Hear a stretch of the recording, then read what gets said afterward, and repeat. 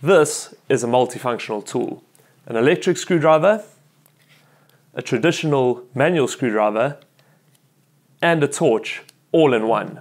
The guys at Ryobi really came up with a solution to three problems when designing this gadget. The screwdriver charges off a mini USB in only three and a half hours. That means you can take it anywhere, charge in your car or even off your laptop. It delivers three and a half newton meters of torque at 180 rotations per minute and has a bright LED torch built into the grip.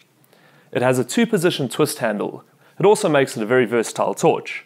The screwdriver is controlled with the trigger and has a forward and reverse selector above the trigger. The hex collet automatically locks when the trigger is released, allowing screws to be driven in manually.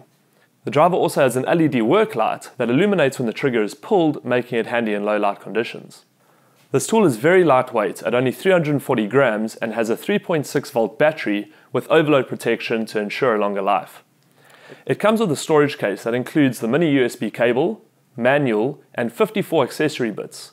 The accessories include a magnetic bit holder, 12 Phillips drive bits, 8 Pozidriv bits, 15 slot drive bits, 7 Torx drive bits, and 12 hex drive bits, making this a handy cordless driver to have around the house. This is just one of many electric screwdrivers available at Builders.